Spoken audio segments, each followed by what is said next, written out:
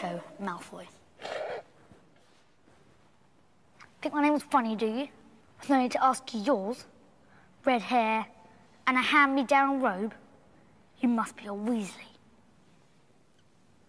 You'll soon find out that some wizarding families are better than others, Potter. You don't want to go making friends with the wrong sort. I can help you there. Slytherin!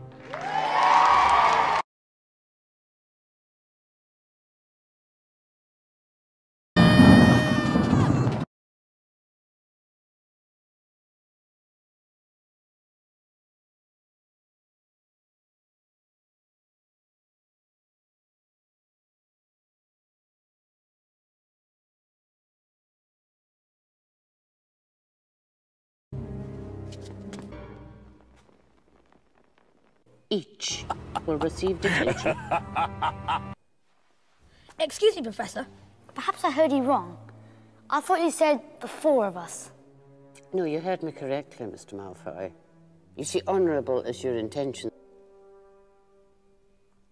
Harry, you'll go with Malfoy. Okay, then I get Fang.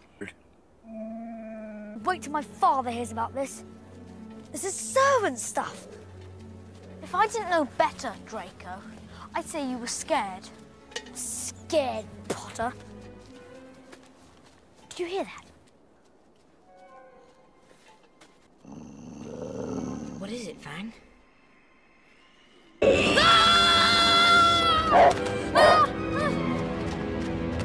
with 312 points. And outstanding courage.